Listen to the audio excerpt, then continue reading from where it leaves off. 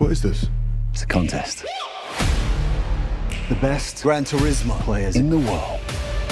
get a chance to compete in professional racing. Dude, this is real.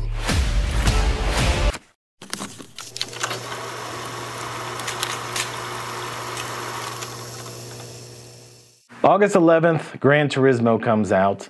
Based on the popular video game, what I think is unique about this movie is the story is based on a true story where they were looking for drivers that actually were great at playing the game. I don't know that much. I mean, I get Gran Turismo. I think we've all played that in the last 20 years. Anything that has to do with racing, anything that has to do with speed, that's the kind of thing I want to see. I'm really hoping that this delivers.